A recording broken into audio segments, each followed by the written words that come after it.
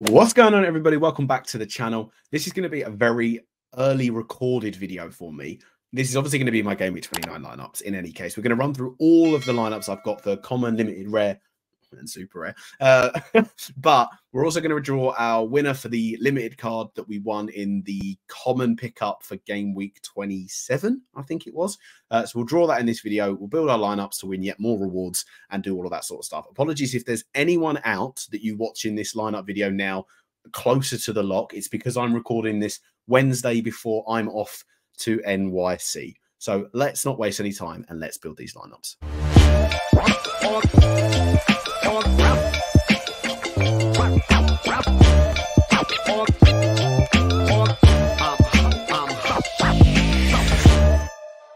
Before we do that, though, let's draw the winner. So this was the uh, this was actually the video that was in question. Here we built this lineup. I paused it before I've added in the last player. I'm not sure if this will load again. We did this live on stream. Some of the lineup videos that I've been doing have been on stream, obviously, just a little bit before, just you know, save some time. That video then won.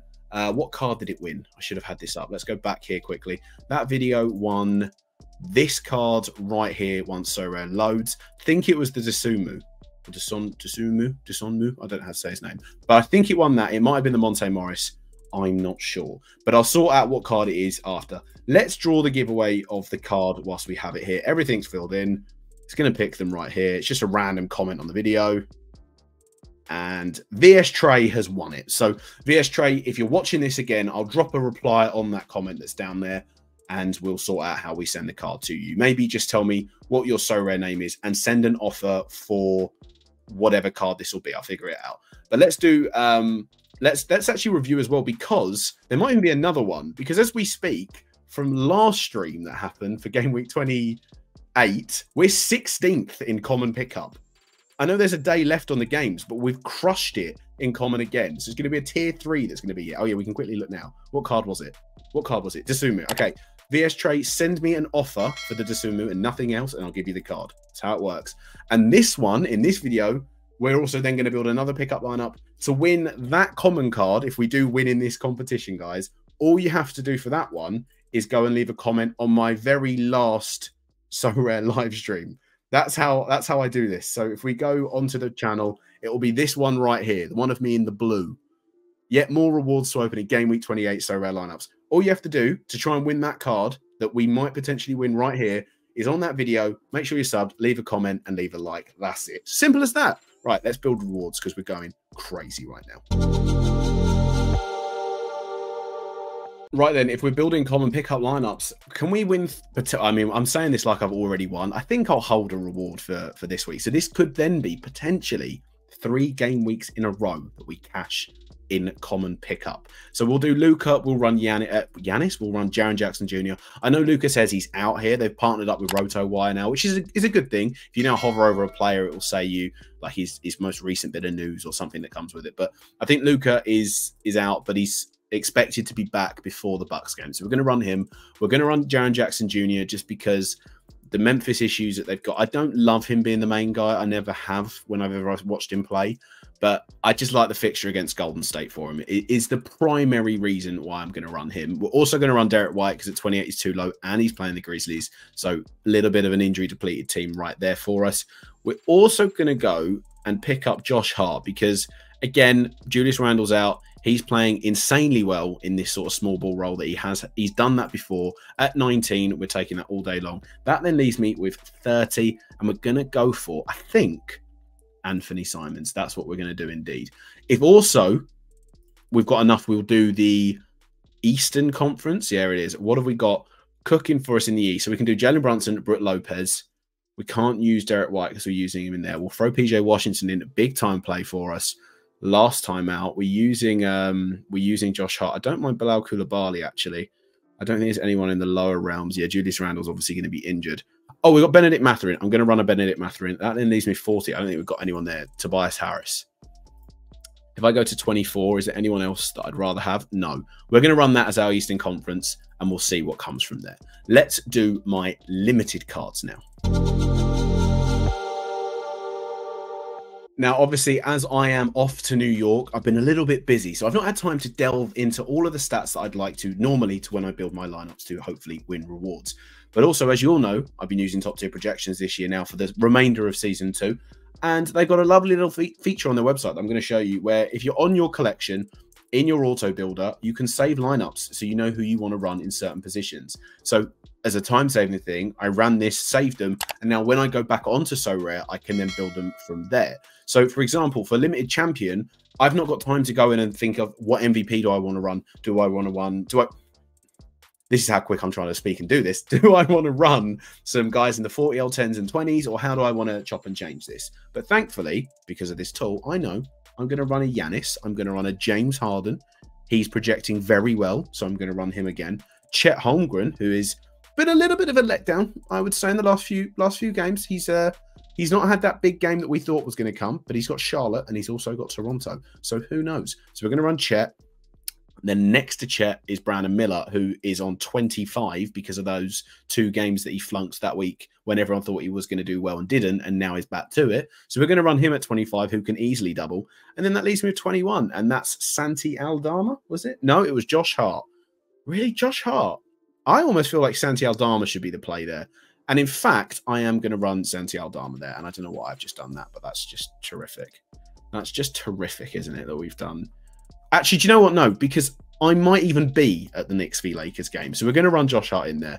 And then in 27, we're going to go and pick up Brandon Miller. So that's my limited champion. Contender is going to be Derrick White, Khris Middleton, you know, how they do. Derrick White is the, I don't like playing him in champion because Derrick White has flunked the bed too many times recently, is what I will say. For when I've needed Derrick White to have a big game, he hasn't, is what we'll say, but we'll play him. Khris Middleton, happy to play him. He's got the Jazz and the Mavs. I'm kind of happy with him as that sort of wing to play there. They're then suggesting Aaron Gordon's going to jump in at 24, two games against the Blazers. Sign me up for that one. 18 left. Santi Aldama's on there. And then 14 is showing Lu Dort Lu Dort's down at 14. Wait, Lu Dort. Where's Lu Dort? Have I gone crazy here?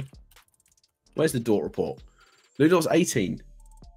What have I done wrong? Oh, it's it's not John. It's John Konchar. It's John Konchar. It's not Santi Aldama. I was reading it wrong. John Konchar goes in, and then we can throw in Lu Dort. There we go. So that would be the limited contender. I'll build this now, and obviously, when I'm in New York, I'll probably adjust them. But for the time being, I'm just going off of what we've got as reports right now. And now, obviously, underdog, we can with tier ones in underdog. So we need a somewhat competitive lineup. So let's see what it's built for us. They're suggesting Santi Aldama is going to go in here. And I'm only going to do top tier projections now for my limited. If you want to find out how good top tier projections can be for you and your gallery and winning and crushing the Sorare NBA competition, there will be a link down below for you to go and check it out and get involved. Drop the guys over at top tier projections, a DM over on Twitter or Discord. Say that I sent you, George from the Swingman podcast sent you, and you'll get a lovely little discount off of signing up as well back to underdog. So we're going to throw Santi Aldama in there. Cole Anthony is someone that, without even looking, I knew I wanted this week because I just I've got a feeling with the whole stuff with the Magic at the minute on back to backs. When Markelle Fultz is back and playing, fine. He won't play in both of these. They won't risk him. I'll, I'll be surprised if they do. And at 16, Cole Anthony has got a double L10 potential in him, is what we'll say. Thybulle's also going to go in here because I saw him a minute ago and he was far too low at 14. Drew Eubanks is going to go in here because obviously we all know he's been getting some starting minutes recently with Nurkic's uh, with Nurkic's issues. That then leaves me with 11 left. If we scroll on down, it's saying Danuel House Jr. and this Danuel House Jr. is 11. Wow. Can you Adam and Eve it? I can't. Right.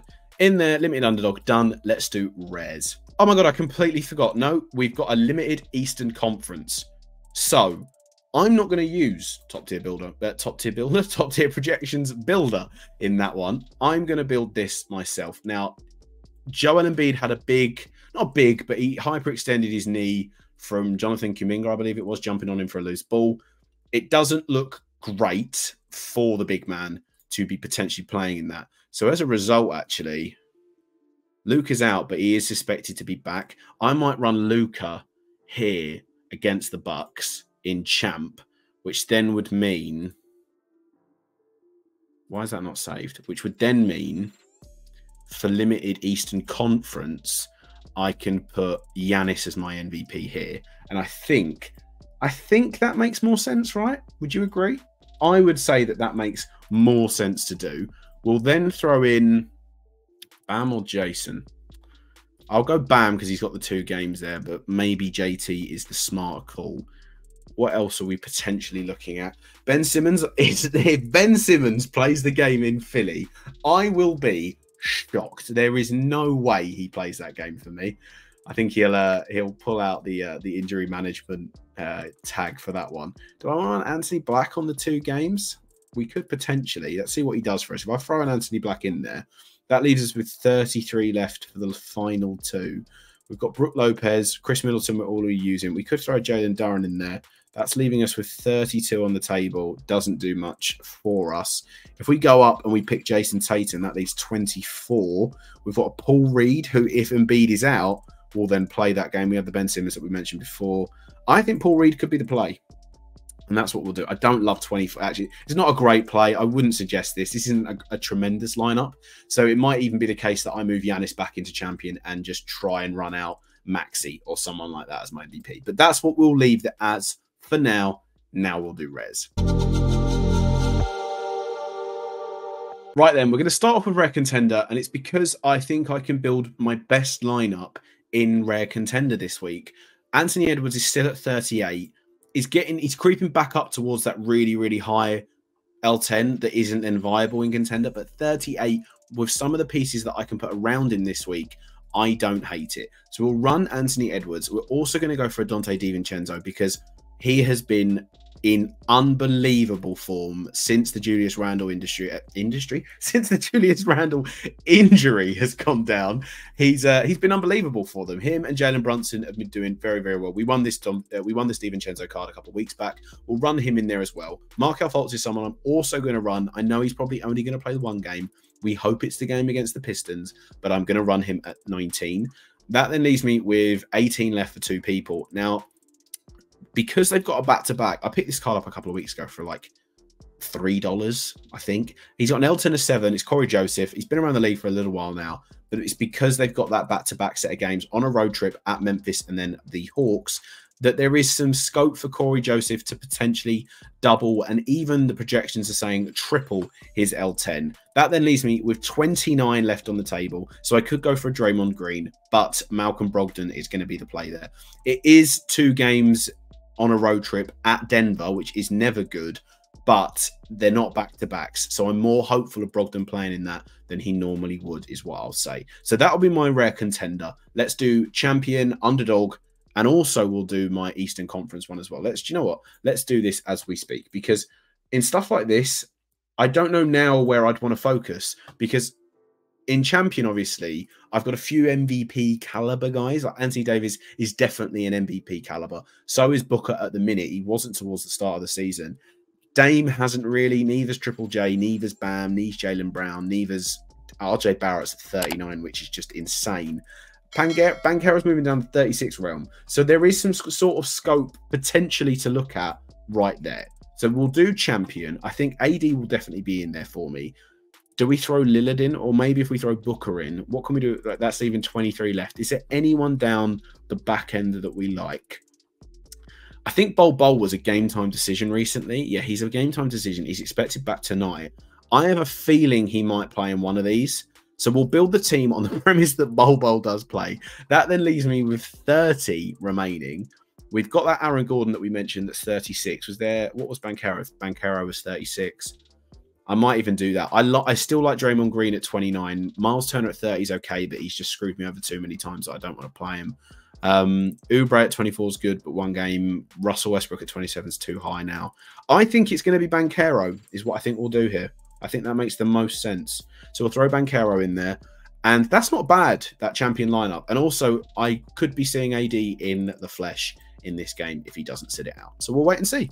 Let's submit that. We will then also do our Eastern Conference. And don't get me wrong, I'm obviously going to be posting stuff whilst I'm away. You can find, you can follow me on X because everything will be there wherever my tagline is here. Everything I'm doing out in New York will be on X or be on my socials, including my Sorare lineups that are come closer to the lock for sure. Now, Rare Eastern Conference makes more sense to now have Dame in this. Bam can be a backup guy to him as that secondary big man, as that secondary MVP. We could throw Jimmy Butler in here. Oh, damn, of course. I need the three rares from this season. I don't think I have them because I want to put DiVincenzo in in contender. I've got a Josh Richardson, a Ty Washington Jr., who is definitely getting no minutes. He saw he's seen the court twice this year for probably about five minutes combined. Thomas Bryant, I could gamble that Bam sits on one of those games in the back to back. And yeah, I don't want to throw DiVincenzo in there. So I don't even have the I haven't even got the facilities to play this. 50 as the last two. I'm leaving 44 on the table. So in theory, I could go out and go and scoop up a 55 point new season Eastern Conference player is essentially what I'd need to go and do. So we'll we won't even focus on that now. We won't build that team. I might go and do it. I'll see what it looks like price wise is because don't get me wrong, there are some players from the East I still want to buy for my gallery. And this now is the reason, and this is probably why they've done this, that you then look at it. But do I necessarily want to go out and buy that for this game week? I'm not quite sure, is what I'll say. But we'll do Rare Underdog now as a result, because we can win those tier ones in Rare Underdog. I now like Rare Underdog again. It now makes me want to put a lineup in there that might do something, and I'll gamble on players. So we will gamble on a Thomas Bryant in this, for example. If I, especially if I'm not using him in the Eastern Conference competition, Jaxson Hayes, I'm not going to I'm going to play him on. I yes, I am going to play Jaxson Hayes. Okay, haha, very funny. Josh Okogie, we could throw in there. DeAndre Jordan. DeAndre Jordan's probably going to get minutes because I expect them to beat the Blazers quite comfortably as well. Look at this from going with no season two cards to only playing season two cards here. That's even me then with 26 left. Wow. Uh, Andrew Wiggins, 21. Sign me up for a bit of that. And then 32 left on the table. Can't get Jimmy, but we can get Jerami Grant obviously going to Denver, we like that as the as the matchup. And you know what? We're going to run that. It it looks we're we're gambling on three big men that never get normal minutes, all getting minutes. So yeah, that's uh, that's how we're going to rock and roll in these streets. And then super rare contender. Obviously, I still have my super rare cards. They fit. They fit with an 11 gap. I know I need to go. I, am like chipping away at super rares. I'm gonna get. I'm gonna do my video on the super rares when it comes, but I'll throw that line up in there when it comes in due course as well. But I mean, guys, that's going to do it. It was a bit of a rushed one.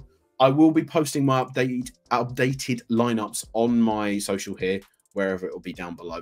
Go and drop me a follow over there to stay in touch with everything Sorare NBA and also the stuff that we do in the states. Uh, thank you very much for watching. If you did enjoy this video, leave a like on it. Leave a comment down below because if we do win on the common pickup stuff again, I might be able to give that card away again. That would be nuts, three in a row. Uh, if we do win. And yes, subscribe to the channel. We're trying to hit a thousand subs as quickly as possible. But if not, I'll catch you in the next video. Thanks for watching and peace.